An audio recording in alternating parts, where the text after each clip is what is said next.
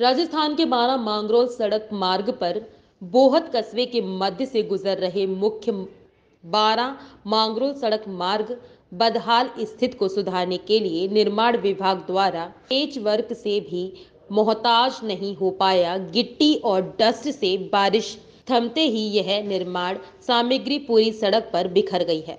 और सड़क पर वाहन गुजरने के दौरान धूल अत्यधिक मात्रा में उड़ने लगी है। इससे वाहन चालकों और पैदल चलने वाले लोगों को काफ़ी परेशानी का सामना करना पड़ रहा है।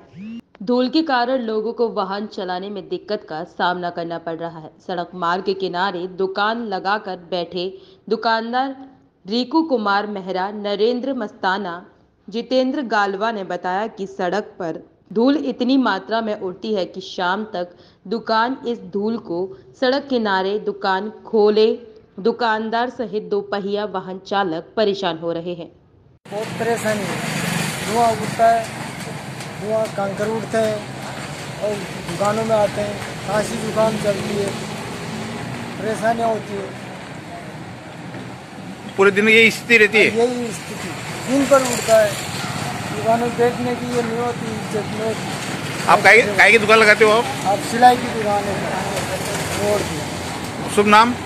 मेरा नरेंद्र कुमार है।